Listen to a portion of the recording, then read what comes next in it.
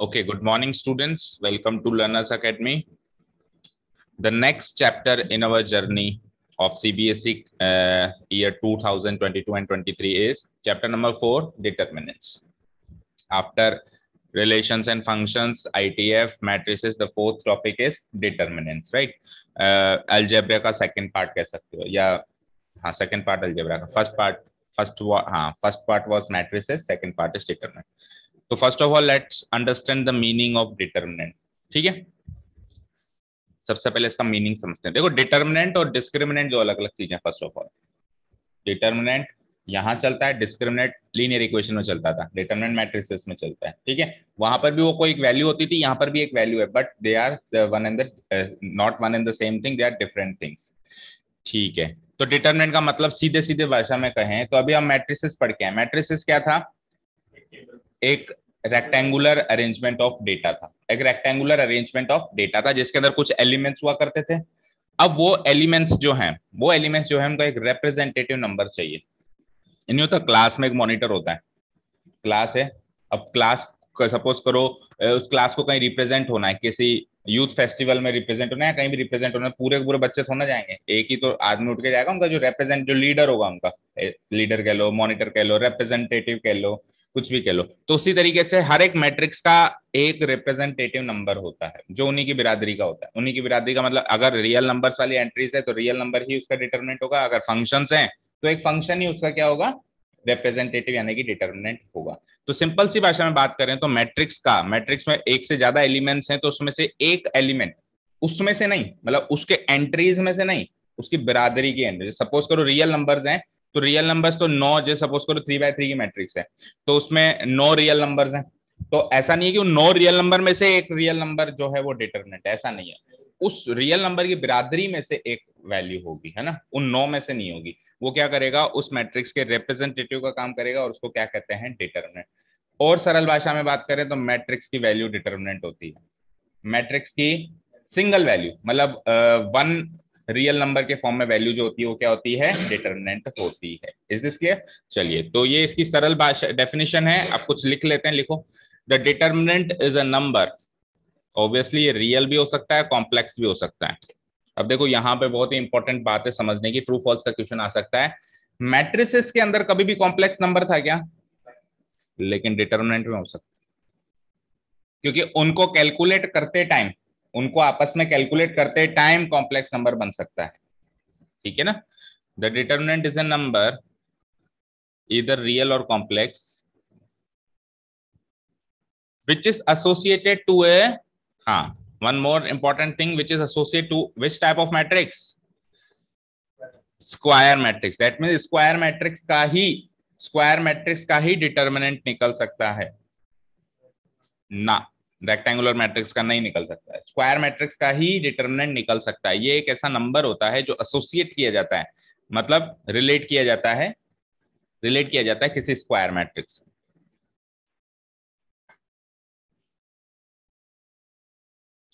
ठीक है? Of order N order कुछ भी हो सकता है। Order one order two order three order पे कोई पाबंदी नहीं है बट टाइप ऑफ़ मैट्रिक्स पे पाबंदी है। टाइप ऑफ़ मैट्रिक्स क्या होनी चाहिए?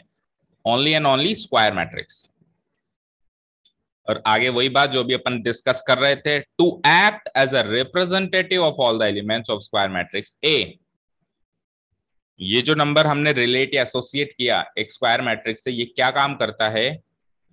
उस स्क्वायर मैट्रिक्स ए के सारे एलिमेंट्स के लिए रिप्रेजेंटेटिव की तरह एक्ट करता है, यानी रिप्रेजेंटेटिव की तरह काम करता है।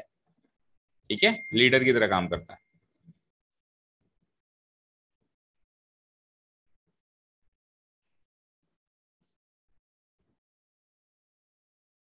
ठीक है? ये तो उसकी जनरल डेफिनेशन होगी जो आपके एनसीआरटी में गिवन है। आगे बढ़ते हैं।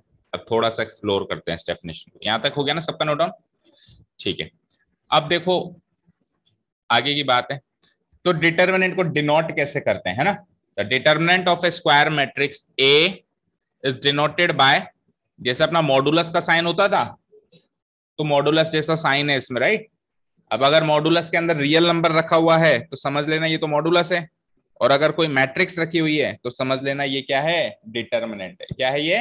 डिटर्मिनेंट है। और दूसरा तरीका है डीईटी ए लिखे और डेल्टा ए लिखे। तीन तरीके हैं इसको डिनोट करने के, जिसमें से जो सबसे ज़्यादा यूज़ किए जाने वाला तरीका है, वो है पहला वाला मॉडुलस के साइन वाला। यानी कोई भी मैट्रिक्स के रेक्टेंगुलर ब्रेसेस को हटा के ये स्ट्रेट ब्रेसेस लगा दें। दैट मीन ये मॉडुलस टाइप का साइन लगा दें। तो वो उस टाइम अगर रेक्टेंगुलर ब्रेसेस लगाते हैं तो वो एक मैट्रिक्स है। लेकिन अगर वो वाला साइन लगा दे तो वो मैट्रिक्स नहीं है, वो एक एक सिंगल वैल्यू है, वो डिटर्मिनेंट है, ठीक है? फॉर एग्ज़ाम्पल यहाँ तक लिख लिया, इसको डिनोट किससे करते हैं? इस तरीके से, इस तरीके से या फिर इस तरीके से। Introductory part is very easy ऐसी कोई चीज़ नहीं जो आपको समझ में ना आए या कॉम्प्लिकेट लगे राइट right? एक बार इंट्रोडक्शन समझ में आ जाएगा तो फिर उससे रिलेटेड कुछ चीज़ें फिर भी कॉम्प्लेक्स थोड़ा सा उसमें कॉम्प्लेक्सिटी है, इससे रिलेटेड आगे की चीज़ों में।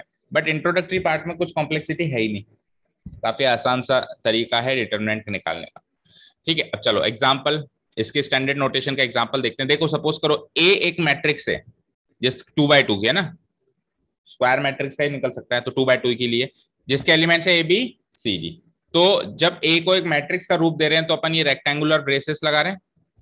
लेकिन इसी का जब आप डिटर्मिनेंट निकालना चाहते हैं इसी को डिटर्मिनेंट का रूप देना चाहते हैं तो हम क्या लिखेंगे? ये रेक्टेंगुलर ब्रेसेस तो क्या बन जाएँगे? स्ट्रेट ब्रेसेस और इधर लिखने के लिए इसको क्या लिख सकते हो? डिटर्मिनेंट ए भी लिख सकते हो या मॉडुलस के अंदर ए भी लिख सकते हो या फिर डेल्टा ए भी लिख सकते हो, दोनों तीनों तरीके।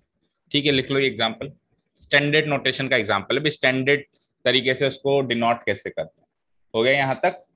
बोलो, कोई डाउट ना। अब देखो हमको एक एक करके डिटर्मिनेंट निकालना, सीखना है। तो हम, हमने क्या सीखा? स्क्वायर मैट्रिक्स का निकल सकता है। और बड़ी से बड़ी स्क्वायर मैट्रिक्स हमने लास्ट चैप्टर में सीखी। ऑर्डर थ्री बड़ी से बड़ी। ऑर्डर फोर की तो सीखी नहीं है ना? वैसे तरीका तो वही होगा, जब अपन अभी निकालना सीखेंगे, ठीक है? तो ऑर्डर वन टू थ्री ये तीन जो ऑर्डर है, इसकी हमारे कोर्स में है, इसका हमसे डिटर्मिनेंट वो पूछ सकता है है ना? ऑर्डर वन एंड टू पूछेगा तो वेटेज कम होगा ऑब्वियसली एंड ऑर्डर थ्री का पूछता है तो अच्छा खासा वेटेज होगा, ठीक है? या इनडायरेक्टली कोई और क्वेश्चन सॉल्व कर रहे हैं, उसके बीच में हमको डिटर्मिनेंट निकालना पड़ जाता है, कई बार ऑर्डर टू या order three not only here आगे भी आगे भी कुछ ऐसे मिक्स में क्वेश्चन हैं, जिसमें हमको डिटर्मिनेंट निकालना पड़ जाता है, इस चैप्टर के बाद भी। ठीक है ना? ओके तो पहला टॉपिक है ऑर्डर वन से स्टार्ट करते हैं। डिटर्मिनेंट ऑफ़ ऑर्डर वन एक ही लाइन का टॉपिक है। लिखो। डिटर्मिनेंट ऑफ़ ऑर्डर वन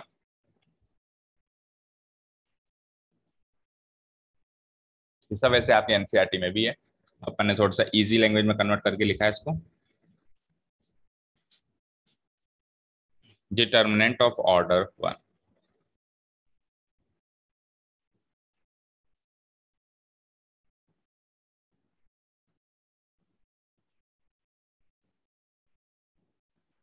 लिखा? अब ऑर्डर वन का डिटर्मिनेंट निकालना दैट मीन ऑर्डर वन की एक स्क्वायर मैट्रिक्स अब आप इमेजिन करो ऑर्डर वन की स्क्वायर मैट्रिक्स में कितने एलिमेंट्स होंगे? एक तो जब मैट्रिक्स में एलिमेंट ही एक है तो सपोज़ करो क्लास में आदमी बच्चा ही एक है तो वही मॉनिटर बनेगा। बनेगा कि नहीं बनेगा? तो वही मॉनिटर है हमारा, वही डिटर्मिनेंट है जो अंदर एलिमेंट बैठा है, ठीक है?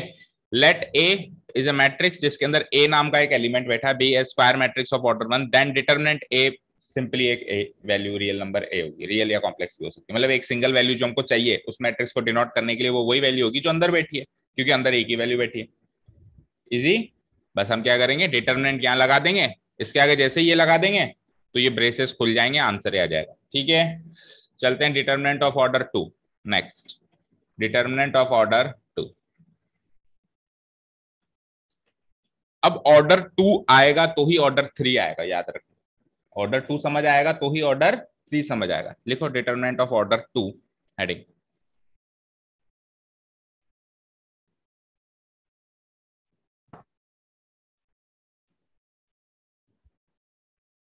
determinant of order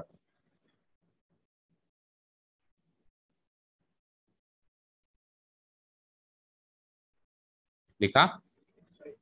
हम्म। नहीं हेडिंग तो डाल दी? हेडिंग डाल दी। तो आगे रीड आउट करते हैं। देखो सपोज़ करो ए एक मैट्रिक्स है ऑर्डर टू की, है ना? टू बाय टू की मैट्रिक्स है। तो उसके अंदर के एलिमेंट कुछ ऐसे होंगे? A one one A one two A two one and A two two standard notation करें तो यही इस तरीके के एलिमेंट्स होंगे अंदर। A one one A one two A two one A two अब अगर आपको डिटर्मिनेंट ए निकालना है, अब अगर आपको डिटर्मिनेंट निकालना है तो याद करो क्लास टेंथ में क्रॉस मल्टीप्लीकेशन मेथड सीखा था अपन ने लीनियर इक्वेशंस में। और मैंने आपको उस टाइम बताया था डोंट नो कि आपको याद है कि नहीं है कि ये जो तरीका सीख रहे हो ना ये आगे चल के इलेवन ट्वेल्थ में मतलब ये चीज़ नहीं आएगी लेकिन ये तरीका ज़रूर काम आएगा। चलने दो एक ही चल रही है ना। याद करो इस तरीके का तरीका था। Like this like this like याद है क्या? क्रॉस मल्टीप्लीकेशन में भी यही तरीका होता था। जब क्रॉस जा रहे हैं तो मल्टीप्लाई जब यूँ जा रहे हैं तो सब्ट्रैक्शन सब्ट्रैक्शन ठीक है ना? That means A one one से ए टू टू क्रॉस जा रहा हूँ ना तो क्या हो गया? Multiply then A two two से ए टू वन यू जा रहा हूँ तो क्या लगा दिया मैंने? माइनस ठीक है? और फिर ए टू वन से वन टू अगेन क्रॉस जा रहा हूँ डायगनली तो अगेन क्या हो गया? मल्टीप्लाई ठीक है? इसको सॉल्व कर लेना, यही आपके डिटर्मिनेंट ए की वैल्यू हो जाएगी। ठीक है ना? यानी इसको इस एलिमेंट को इससे मल्टीप्लाई करो देन इस एलिमेंट को इससे मल्टीप्लाई करो और फिर तो बीच में माइनस करो ठीक है? ऑर्डर टू का डिटर्मिनेंट भी क्लियर है क्या सबको? ये लिख दिया, ये मतलब डायग्राम बना लिया इस तरीके का।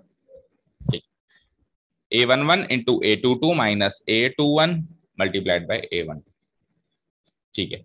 अब आ जाइए मेन मुद्दे की बात करते हैं, जो एग्ज़ाम में आने लायक चीज़ है। बट ये है कि डिटर्मिनेंट ऑफ़ ऑर्डर टू नहीं आता तो ये समझ में नहीं आता। इसलिए वो इंपॉर्टेंट भी है। Determinant of order three determinant of order 3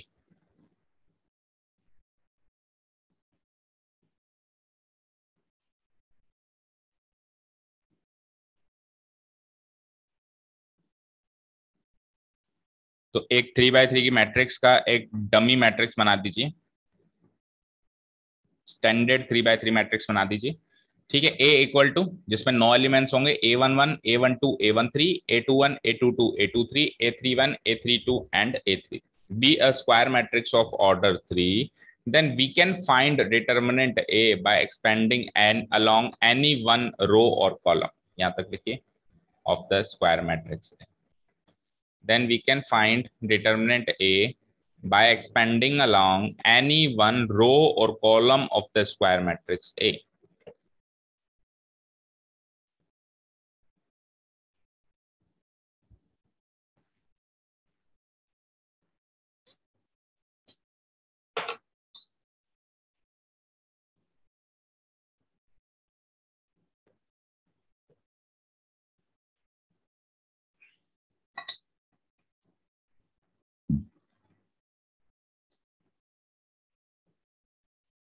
okay लिख लिया गया ये।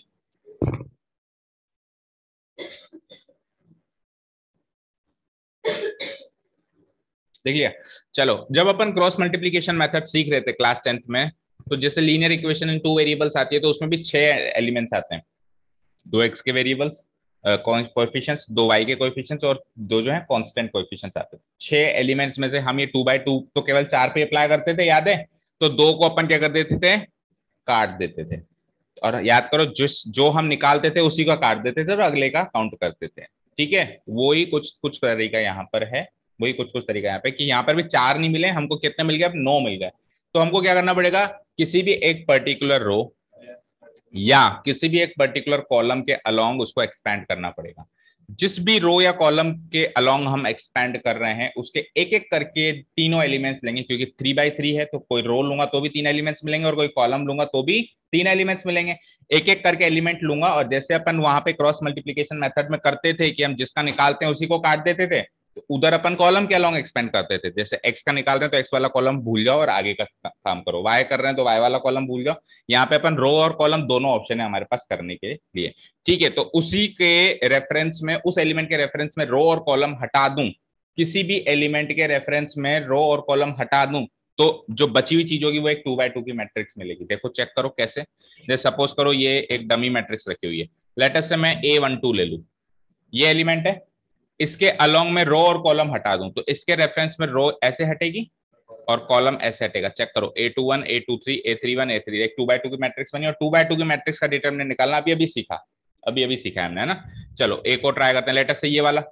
तो इसके रेफरेंस में ये रो गई और ये कॉलम गया। अब क्या बचा? A one two A one three A three two A three is clear suppose करो ये ले लो ए थ्री थ्री तो ये रो गई, ये कॉलम गया, ये टू बाई टू की मैट्रिक्स बन गई। तो किसी भी एलिमेंट के रेफरेंस में हम रो एंड कॉलम को डिलीट कर देंगे। अब अपन किसी भी एक रो के अलोंग एक्सपेंड कर रहे हैं तो उसके तीनों एलिमेंट्स के साथ ये करना पड़ेगा। और अगर अपन किसी कॉलम के रेफरेंस में एक्सपेंड कर रहे हैं तो उसके तीनों एलिमेंट के साथ भी यही करना पड़ेगा। ठीक है, अब यहाँ पे एक रूल और है कि देखो, जो इसकी पोजीशन है ए वन वन जैसे सपोज़ करो, मैंने रो वन के अलोंग इसको एक्सपेंड किया। मैंने रो वन के अलोंग इसको एक्सपेंड किया। तो इसकी जो वैल्यू है, जो पोजीशन है, वो क्या है? A one one A one two A one three तो इसकी पोजीशन का सम अगर इवन है तो ये पॉजिटिव रहता है, ये एलिमेंट पॉजिटिव रहता है। और अगर इसकी पोजीशन का सम ऑड है, जैसे one plus two three odd है तो ये क्या बन जाता है? नेगेटिव बन जाता है।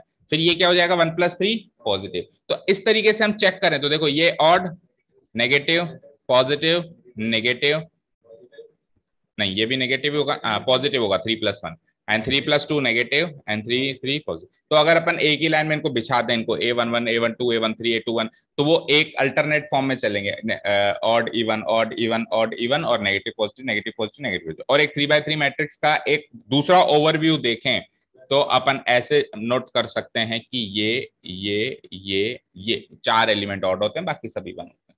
मतलब जो क्रॉस बना रहे हैं, वो तो इवन है like this and like this और जो इस तरीके से स्क्वायर बना रहे हैं, वो क्या है? ऑड ऐसा ही? हाँ रोम्बस कह दो, है ना? एक रोम्बस बना रहे हैं स्क्वायर बना रहे हैं तो वो कैसे वो कैसे हैं? वो तो नेगेटिव बनेंगे मतलब वो ऑड उनका सम होगा पोजीशन का, और जो क्रॉस बना रहे हैं डायगनली यूँ भी और यूँ भी। वैसे डायगनल एक ही होता है, लेकिन इस बार दोनों काउंट कर लो। वो क्या रहेंगे अपने? पॉजिटिव रहेंगे दैट मीन उनके सम ऑफ़ पोजिशन क्या है? इवन है। ओके फाइन ठीक है, अब आगे कुछ लिख लेते हैं। ठीक है? तो हमने यहाँ तक लिख लिया ऑफ़ द स्क्वायर मैट्रिक्स है। In general we should select अच्छा अब बात ये आती है कि, सर, आपने कहा किसी भी रो और किसी भी कॉलम के अलोंग एक्सपेंड कर सकते हैं और आंसर सेम ही आएगा? आंसर भी सेम ही आएगा। देखो इतफाक की बात, ऐसा नहीं कि मैं रो वन से एक्सपेंड कर रहा हूँ तो डिटरमिनेंट की वैल्यू कुछ हो रहा है रो टू से कुछ हो रहा है कॉलम वन से कुछ है। सबसे आंसर सेम आएगा। यानी कि इन शॉर्ट आपके पास छह तरीके हो गए। Row one row two row three column one, column two, column छह के छह तरीकों से आपके पास सेम डिटरमिनेंट की वैल्यू आएगी। अब सेलेक्ट कौन सा करना चाहिए? जिसके पास मैक्सिमम नंबर ऑफ़ जीरोज हो। क्यों? क्योंकि उसमें हमारी मेहनत थोड़ी कम हो जाती है, क्योंकि ज़ीरो के अलोंग जब अपन एक्सपेंड करते हैं तो वैसे भी ज़ीरो आंसर ज़ीरो ही आ जाता है ना? तो in general we should select in general we should select that row और कॉलम फॉर एक्सपेंशन एक्सपेंशन के लिए हमको वो वाली रो या वो वाला कॉलम सेलेक्ट करना चाहिए generally which contains the maximum number of zero तो उसको एक नोट डाल के लिख देंगे अपन इंपॉर्टेंट नोट इस बात को अपन एक इंपॉर्टेंट नोट डाल के लिख देंगे.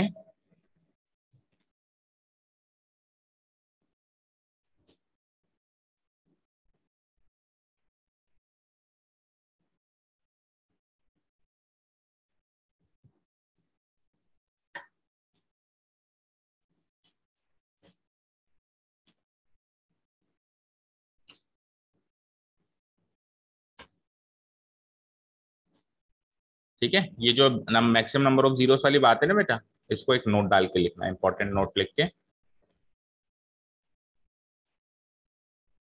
Note in general we should select that row और column for expansion which has the maximum number of zero ठीक है? क्लियर हो गई बात?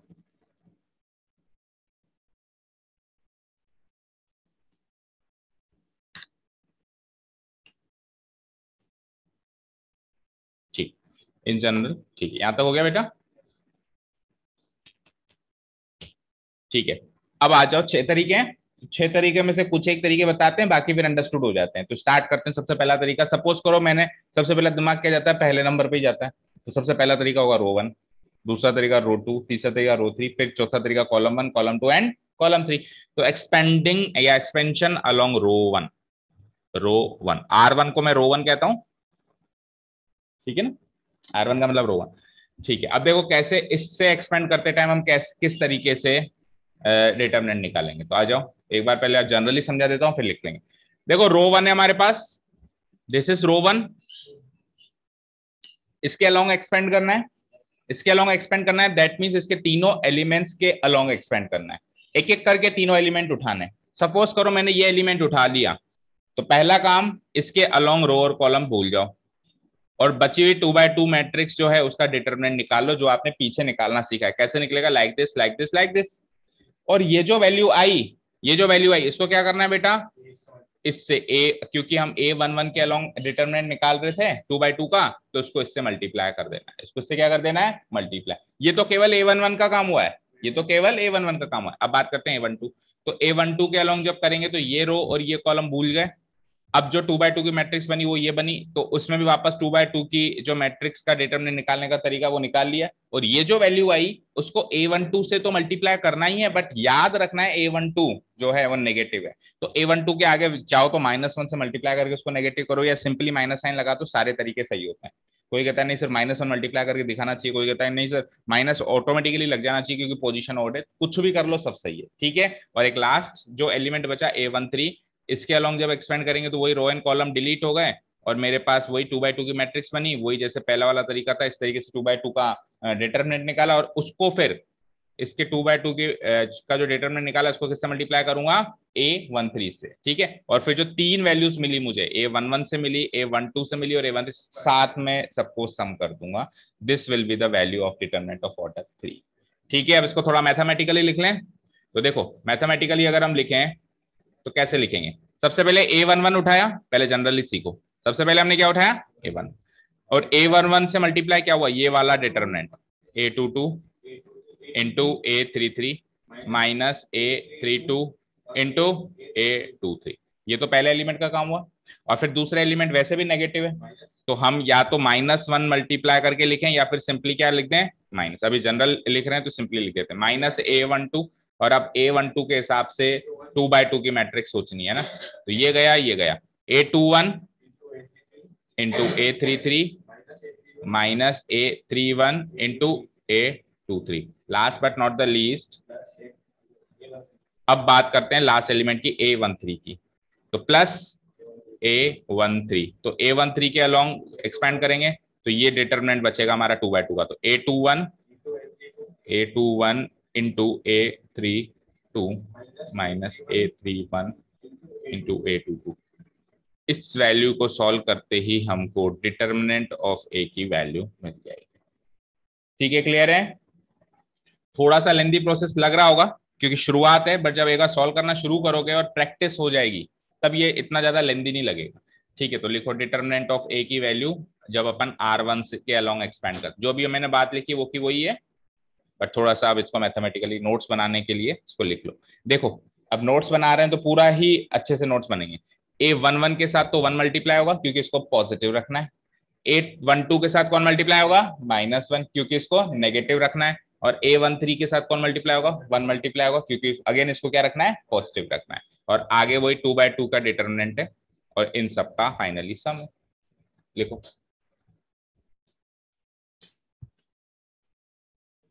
क्या बेटा? सारे का नहीं, एक दो का लिखवाएँगे, अब रो टू का लिख लेते हैं, फिर एक कॉलम वन का लिख लेते हैं, और फिर बाकी के आप अपने आप बना सकते हो।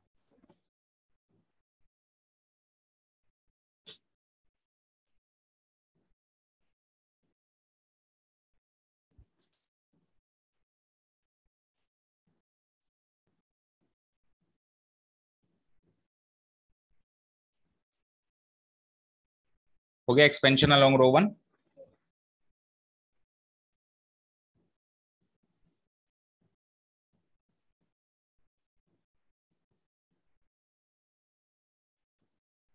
और कंफर्ट जोन का ये लास्ट चैप्टर है भाई। जितना एंजॉय करना है चैप्टर को एंजॉय कर लो। बाकी उसके बाद आप अपने कंफर्ट जोन से बिल्कुल बाहर आ जाओगे।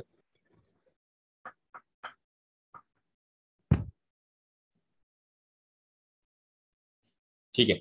एक्सपेंशन अलोंग आर टू की बात करते हैं। Expansion along R to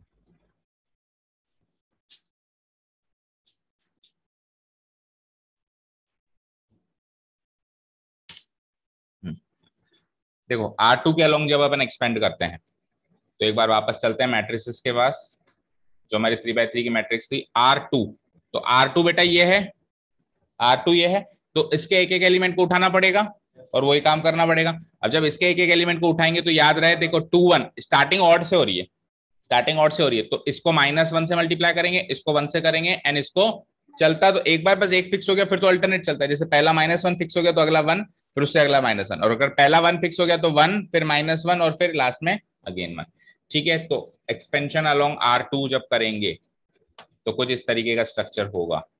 note कर लो। टू वन को माइनस वन से टू टू को प्लस वन से एंड टू थ्री को अगेन माइनस वन से। और इसको इस एलिमेंट के अलोंग रो और कॉलम को डिलीट करके अंदर कुछ टू बाय टू का जो डिटर्मिनेंट है, कुछ ऐसे बच जाएगा। हाँ। इसको नोट डाउन करो। ठीक है? मैच कर लो उसमें से, जो मैट्रिक्स है A one two into A three three कोने से कोना जाएगा इसमें, है ना?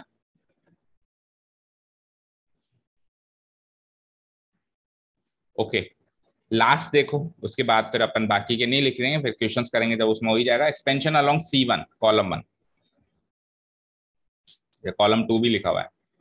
चलो भाई column one and column two और लिख लो। चार तरीके लिखे हुए ये एनसीआरटी e में भी इसी तरीके से कि चार उन्होंने दे दिए तो अंडरस्टूड होगा ठीक है तो कॉलम वन की बात करते हैं तो एक बार मैट्रिक्स पे आ जाओ। एक बार मैट्रिक्स पे आ जाओ। कॉलम वन अब देखो कॉलम वन ये है। तो वो का वही काम ए वन वन के अलोंग करेंगे तो इसको इसको भूल जाएँगे। फिर ए टू वन के अलोंग करेंगे तो इसको इसको भूल जाएँगे। और ए थ्री वन के अलोंग करेंगे तो इसको इसको भूल जाएँगे। काम वो का वही करना है, बस अब आप कॉलम वाइज एलिमेंट्स को अलग अलग एक्सपेंड करोगे। कॉलम वाइज राइट तो सबसे पहले ए वन वन अब बताओ ए वन वन पॉजिटिव है? तो अब इसका अगला क्या होगा? नेगेटिव और उसके अगला वाला क्या होगा? अगेन पॉजिटिव होगा। तो कॉलम वन के अलोंग का फॉर्मेट लिख लो एक बार। एक्सपेंशन अलोंग कॉलम वन यानी C one A one one positive A two one negative A three one again positive और फिर अंदर जो टू बाय टू की मैट्रिक्स बनेगी, वो ऐसी बनेगी, वो आप मैट्रिक्स में जाके वेरीफाई कर सकते हैं। लिखो?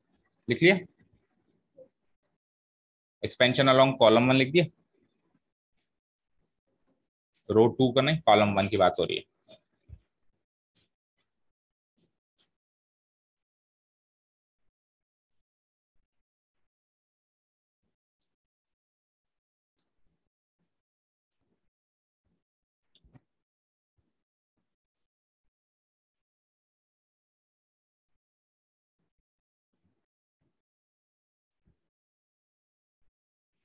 रेडी हो? रुद्र। हाँ। भूल गए थे क्या टेस्ट याद है? रेडी हो?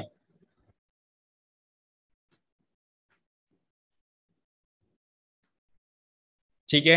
एक्सपेंशन अलोंग कॉलम का काम हो गया। नेक्स्ट और लास्ट एक फॉर्मेट और लिख लेते हैं, सीधे एक्सरसाइज पे चलते हैं।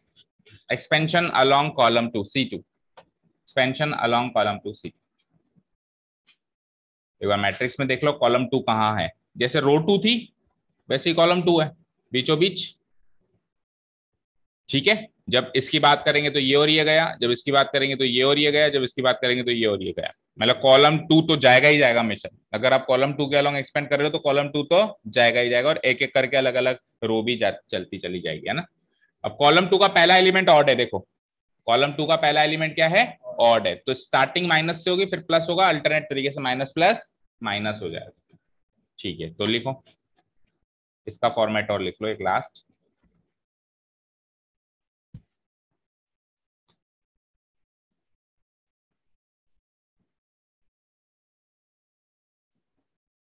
ए वन वन कहाँ से आया यहाँ पे गलत लिखा हुआ है क्या ये?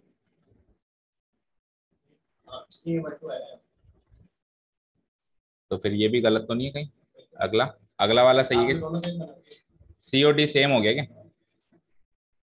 अच्छा ये सी और डी कॉपी पेस्ट हो गया। चलो तो कोई बात नहीं, इसको करेक्ट कर देते हैं।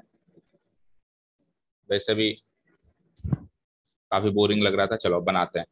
हाँ तो इसको तो माइनस वन करना पड़ेगा। इसको तो माइनस वन करना पड़ेगा।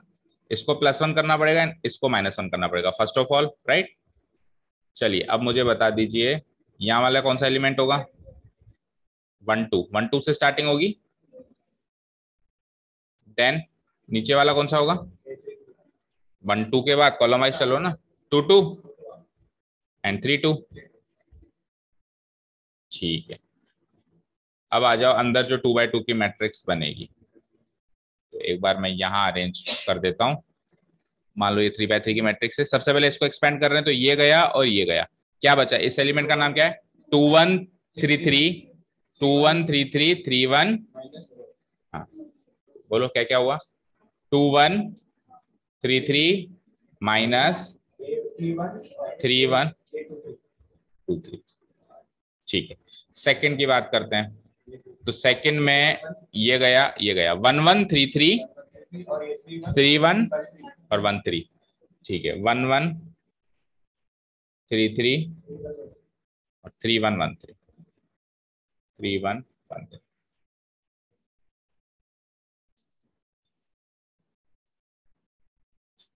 ठीक है, और फाइनल आ जाओ लास्ट वाला। ये वाला एलिमेंट गया राइट तो ये गया ये गया। One one two three two one और वन थ्री ठीक है। One one two three minus two one और वन थ्री अब करेक्ट है मैच कर लो फॉर्मेट ओके फाइन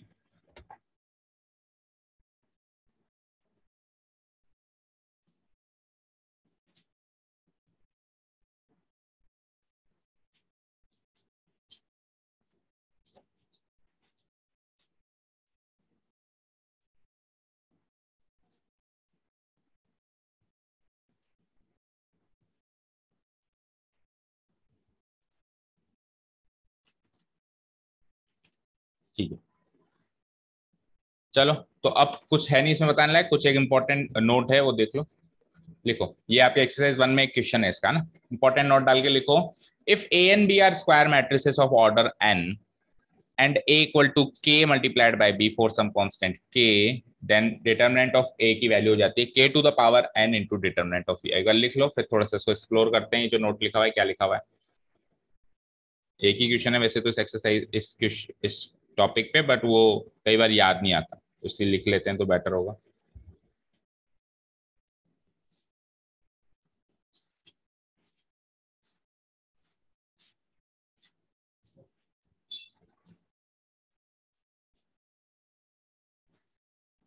हम्म then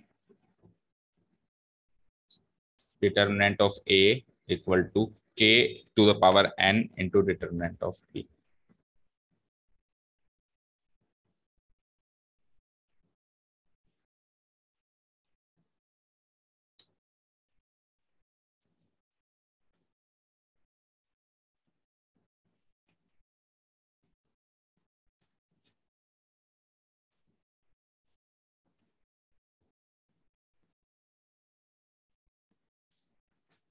ठीक है? लिख लिया क्या एक बार? देखो, ये क्या कह रहा है कि मेरे पास दो मैट्रिसेस हैं लेटस से। और दोनों मैट्रिसेस में, दोनों मैट्रिसेस एक दूसरे के इक्वी मल्टीपल्स हैं। इक्वी मल्टीपल्स मतलब एक मैट्रिक्स दूसरे मैट्रिक्स को किसी कांस्टेंट से मल्टीप्लाई करके बनाई जा सकती है। जैसे एक मैट्रिक्स तो मान लो one one one one one दूसरी two two two two two या किस, किसी भी तरीके से कह सकते हो। ऐसा नहीं कह रहा हूँ सारे एलिमेंट सेम होंगे बट इस तरीके से है। तो अगर इन दोनों मैट्रिसेस में ये रिलेशन है, इस टाइप का रिलेशन है A equal to K B या B equal to K A तो इन दोनों के डिटर्मिनेंट में इस टाइप का रिलेशन होगा कि इसका डिटर्मिनेंट और इसका डिटर्मिनेंट निकाल लूँ तो के की कितनी पावर आ जाएगी? जो ऑर्डर ले रखा है। जो भी आपने ऑर्डर ले रखा है के टू द पावर एन हम बाहर निकाल सकते हैं। ठीक है? अब इसको अपन एक एग्जांपल से भी प्रूव करेंगे जब एक्सरसाइज में क्वेश्चन आएगा। याद हो गया? बताओ। इंपॉर्टेंट नोट है कि अगर दो मैट्रिसेस में रिलेशन क्या है? इक्वी मल्टीपल्स है यानी कि कोई कांस्टेंट के से मल्टीप्लाई करके दूसरी मैट्रिक्स बनाई जा सकती है। तो अगर ये मैट्रिसेस के अंदर रिलेशन है ये रिलेशन किसके अंदर है? मैट्रिसेस के अंदर है तो अंदर क्या रिलेशन होगा? मॉडुलस यस दे, देखो ऐसा क्यों होता है? ऐसा क्यों होता है? लेटर से ये स्क्वायर मैट्रिक्स है मेरी। ये स्क्वायर मैट्रिक्स है। इस स्क्वायर मैट्रिक्स को मैंने के से मल्टीप्लाई कर दिया। तो के हर एक एलिमेंट में मल्टीप्लाई होगा? होगा। तो मैं इसके आगे के लिख दूँ के लिख दूँ के लिख दूँ के लिख दूँ के लिख दूँ के लिख दूँ, फिर के लिख दूँ, फिर के लिख दूँ एंड फिर के लिख राइट ठीक है? अब देखो, जब आप इस एलिमेंट के अलोंग एक्सपेंड करेंगे तो इसमें एक के है। इस एलिमेंट के अलोंग एक्सपेंड करेंगे तो इसमें भी एक के है। अभी देखो, आप प्रॉपर्टी जब सीखोगे ना, तब ये रूल ज़्यादा अच्छे से समझ आएगा। अभी हो सकता है आधा अधूरा समझ आए। आपने एक प्रॉपर्टी सीखी है? कि हम किसी भी डिटर्मिनेंट से एक रो से एक एलिमेंट कॉमन ले सकते हैं राइट एक रो से। तो लेटर से मैंने यहाँ से कॉमन लिया तो एक के कॉमन आया। फिर मैंने यहाँ से कॉमन लिया तो एक और के इंटू के कॉमन आया। फिर मैंने यहाँ से के कॉमन लिया तो इंटू एक और के कॉमन आ गया। आ गया क्या? तो के क्यूब कॉमन आ गया। ऑर्डर भी तो थ्री था। समझ रहे हो? तो अभी तो आप इसको एक एज ए रूल याद रखो, अब नेक्स्ट टाइम जब प्रॉपर्टी आएगी तो इस रूल को थोड़ा सा एक्सप्लोर उस जगह कर देंगे अपन, ठीक है? तो K to the power N common आ जाता है, जो भी ऑर्डर है। अगर ऑर्डर थ्री है तो के क्यूब कॉमन आ जाता है ऑर्डर टू है तो के स्क्वायर कॉमन आ जाता है। ठीक है क्लियर है? क्लियर है क्या बोलो? Okay so the next topic is properties of properties of determinant जो वो हम वैसे भी सेकेंड एक्सरसाइज का इंट्रोडक्शन है। तो उसको बाद में देखना है हमको। तो एक्सरसाइज पे चलना है तो वीडियो चेंज कर लेते हैं ना। Thank you so much for listening to us have a nice day keep learning and bye and come back for the exercise of the topic.